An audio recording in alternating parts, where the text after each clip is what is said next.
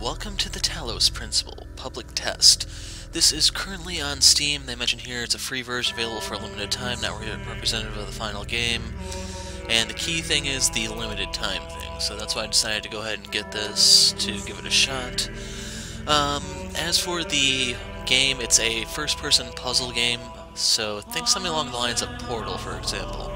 It comes out in December, so there's still some time to think about getting it. Thing costs like $40 if you want it. Little steep, yes, but we'll have to see if the content is worthwhile. There is supposed to be multiple routes, multiple endings, things along those lines, which are what caught my interest. But anyway, let's begin the test. As you can see with the restore backup, I've already played this, so I know where everything is. I know the solutions for the most part. There are a couple things that may give me a little trouble, like these block puzzles.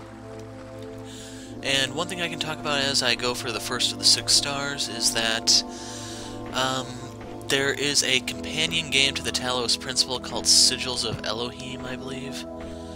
It's something along those lines. And it's basically a series of puzzles that use those Tetris pieces that you see in the top left corner to solve. By solving certain ones, or all of them in a row, you get an unlock in the final game. I may end up going for Sigils of Elohim sometime if Talos comes out and I do want to pick it up and play it. But right there with the first star, I'll explain those in a moment once I get to those. Main thing is, I have to see what my schedule is like in December to know whether or not I have time to play all of these, see what all is coming out, things along those lines. Um, here's the second star underneath the bridge. And before we actually tackle the puzzles, I have to go grab something. So in this demo version, there are advertised four puzzles to do, but there's actually five if you get all six stars. And over here you get a data log. I'm going to go quiet as this narrates, so hold on a second. How do you solve a problem that extends beyond your own lifespan? That question may be the essence of civilization. The only answer I can find is to initiate a process. To create an environment which the solution will occur independently of yourself. But that requires a difficult sacrifice. Letting go of your desire to bear witness to exist at the center of the cosmos, to participate in the project of civilization, is to accept death. Alex, you're such a fun person. Anyway, what they're getting at is actually part of the myth of Talos. I don't actually know a lot about it. It's a Greek myth, I believe, about an artificially created human and that's pretty much the whole premise. You are playing as a robot. If you look in the bottom right corner, you'll see my robotic hand. So if you're expecting a human, you are in for a bit of a surprise.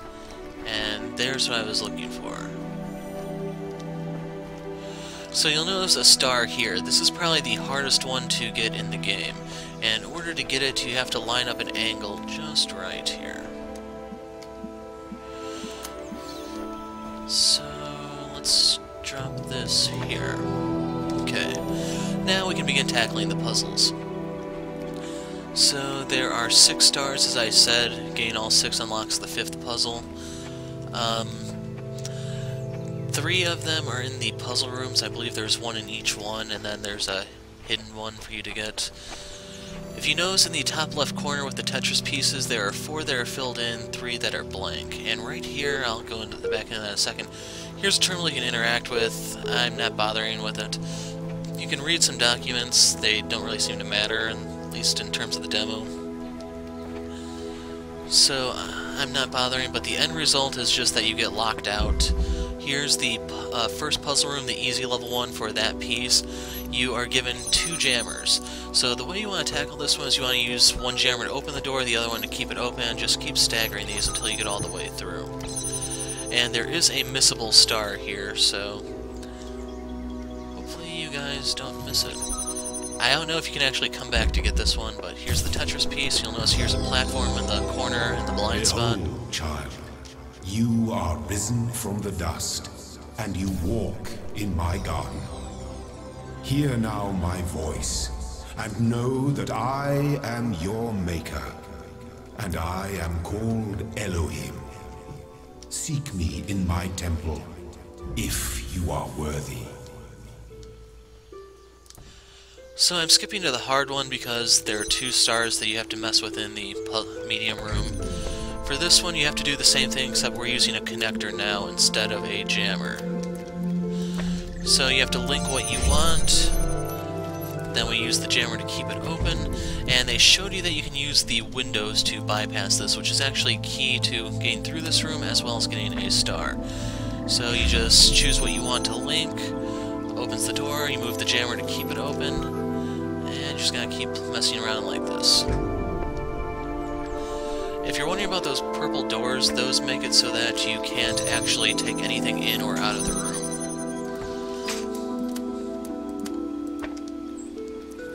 Now we need to actually access the blue light, and in order to do so we have to do a puzzle here, and kinda wish it were earlier when I actually still remembered this.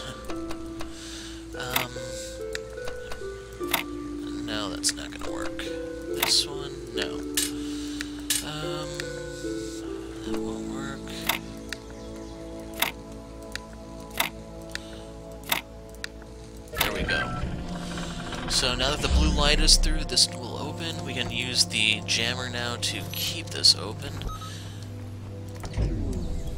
Now we need to move the connector one more time.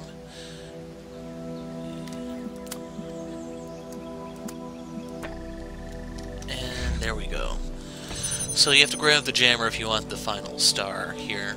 You can notice it's right behind that blue door. It's probably the easiest one to get. Once you get this, the gate will open. You can just walk out. Anyway, that's star number four. We can leave this room and go to the medium puzzle room, which is more of a headache.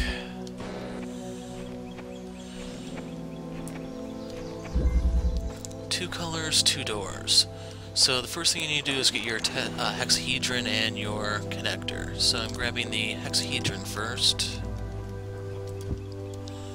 The next connector is right here. Now you need to link the blue, but the beams will cancel out if they touch one another, so you have to elevate this. And you actually have to make sure that they're in range of one another. So we'll set this on the block. That's going to open this. And now we have to get the final two stars.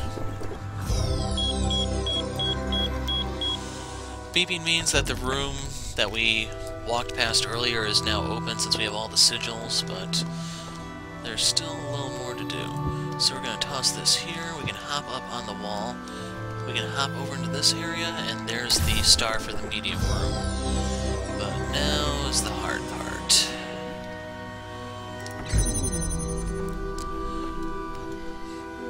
So the marker that I used last time was this.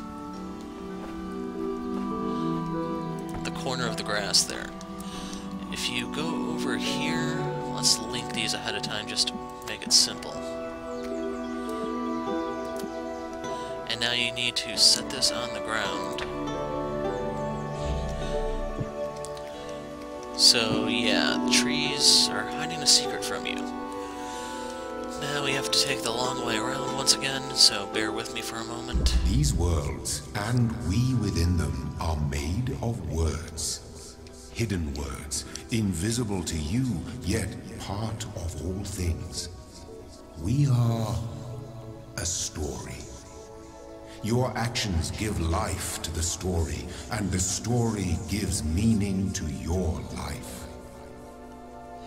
I forgot to mention when you interact with the computer, the voice that's narrating Elohim actually calls it the Deceiver.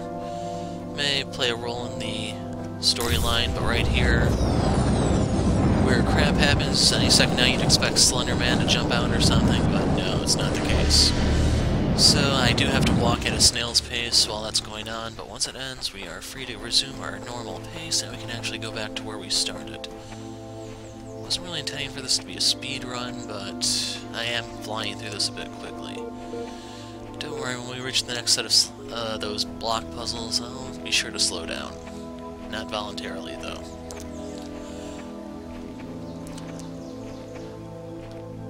Statue.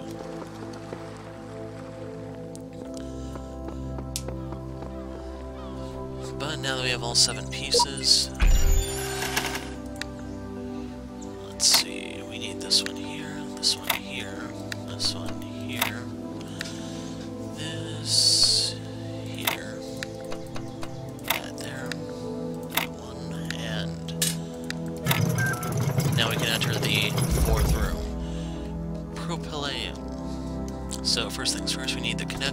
because this one has a pressure plate that you need to put something on to move around. We can get the fan, now we need to use that in place of the pressure plate. That will keep the door open so you can link the two. From here you can get the hexahedron. Now you can actually clear it with all the parts you have right now, but they give you another one in case you want to do it a proper way, I guess. So we're gonna grab this. Fan together in a moment.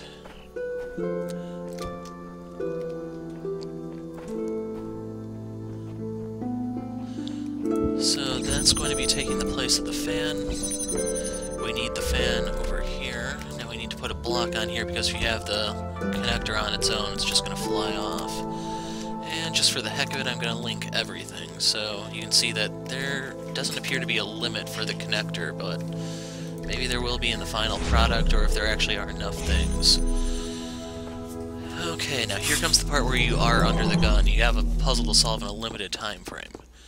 In a moment, Elohim will start talking, and if he finishes talking, the demo ends. So you need to run over here to this open room. You'll notice the other rooms are all locked. Some of them have numbers, one is completely boarded off. And we have to use our stars to create the pieces.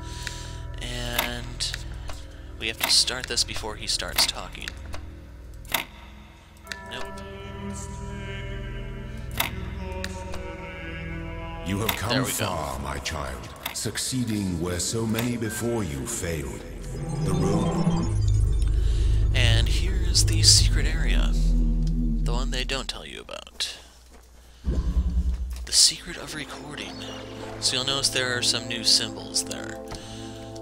First thing first, we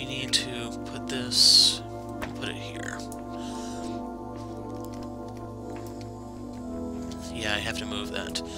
So the neat thing here is you now can play with recording, so we have five minutes to create a copy to do something, and I forgot to grab that. So that will show in the recording, but oh well. I'm going to link that to this, and I'm going to put it in a position where I can see it on the other side. Now I need to kill a few seconds sitting on the pressure plate here to keep this door open. This is kind of like one of the puzzles you might see in something like um, Braid, for example, where you actually have to play with time a bit, and 30 seconds, that should be good enough. Okay, now we have our original copy. My copy is going to be running around here, you see. Crud. Well, I can do that part. And now I'm going to race around while he steps on the pressure plate for me. And you can get the white square. That also opens the door here because once the recording times out, you can see it counting down in the bottom left corner. That's pretty much it. As for what the white block is for, that I haven't been able to find out. I guess it's just like an Easter egg or something, but... Talos for you guys. So we're gonna go ahead and start the final scene. We have to go back where we came from, and then we're done.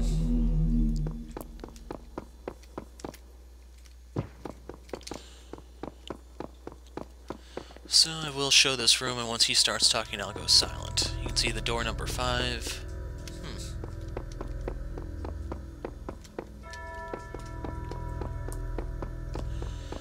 There's seven over there, and the boarded up one is over here. And there's also an elevator over by where we started, which you can't access, at least yet. You have come far, my child, succeeding where so many before you failed. The road before you is still long and many gates remain closed. Do not falter, do not fear, and do not give in to temptation. And that's the end.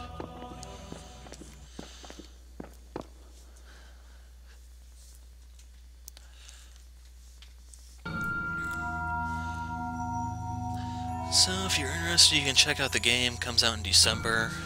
Don't know whether or not I'll be covering it. That's yet to be decided. Anyway, if I can find out any information I missed or something like that, I'll go ahead and post that in the description. But I'm the Hero of Light. Thanks for watching, and goodbye.